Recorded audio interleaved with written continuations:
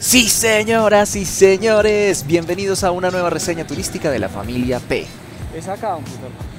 Esta vez fui con mi suegro al mejor lugar de frijoladas en el centro geográfico de Bogotá, al frente de la Universidad Nacional sobre la avenida El Dorado.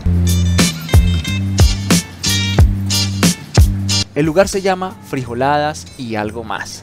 Su dirección exacta es calle 25F número 3745. Y adivinen qué, este comercio está en Rappi. Sí. O sea que también puedes pedir a domicilio. Aunque seré sincero, se come mejor recién servido y en los platos que usan aquí. Entonces si puedes ven o si no, pídelo por Rappi. Conocí este lugar cuando trabajé en Corferias como coordinador comercial y de proyectos, del año 2013 al 2016. Con mi grupo de colegas salíamos a probar diferentes restaurantes en la zona y así dimos con este lugar. Luego que lo conocí, ya era costumbre venir al menos un par de veces al mes. Y ya vas a ver por qué.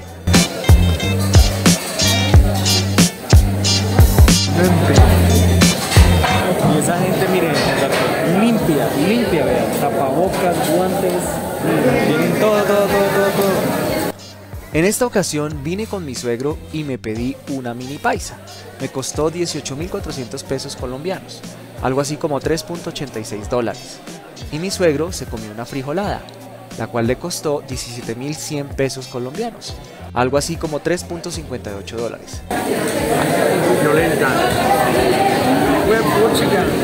En Colombia ese valor es promedio o tal vez un poco más alto, considerando que no es un restaurante de manteles, pero comparado con el entorno internacional, es decir, comerse algo así, especial, típico en otro país, costaría más del doble, tal vez mucho más.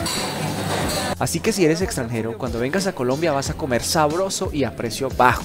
Pero hablemos de la comida que para eso vinimos. La mini bandeja paisa me la sirvieron en una cazuela plana metálica donde la mitad del plato tiene frijoles y la otra mitad tiene arroz blanco, huevo frito, dos tajadas de plátano maduro, una papa salada, varios trozos de chicharrón tostado, un trozo de chorizo, una porción pequeña de carne de res y por supuesto una porción de aguacate.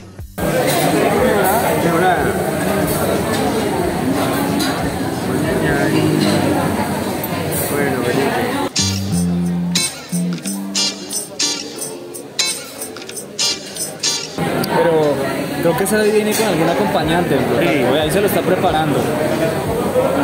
el arroz. Ve, ahí se lo van a traer.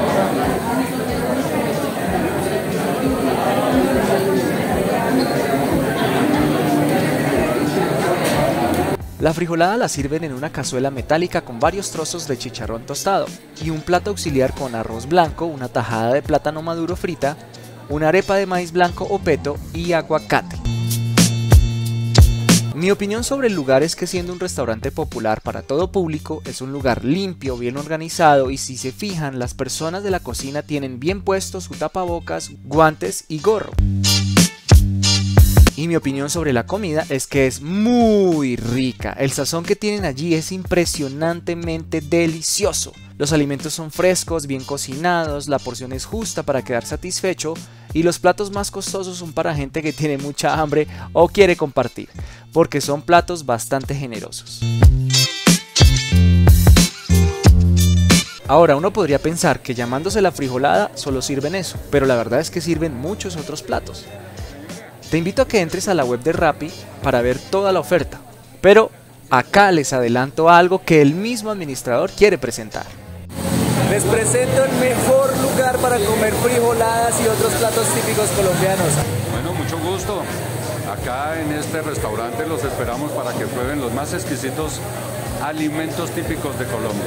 Aquí como mondongo, frijolada, sancocho de pollo, sancocho de carne.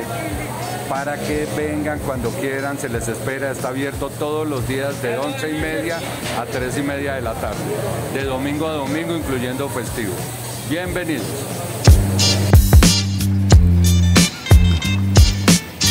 Muy bien, llegamos al final de esta reseña, espero que la hayas disfrutado y si fue así, por favor apóyanos con un me gusta, suscríbete al canal y comparte, comparte, comparte, comparte, comparte, comparte, comparte, comparte, comparte, comparte, comparte, comparte. Gracias.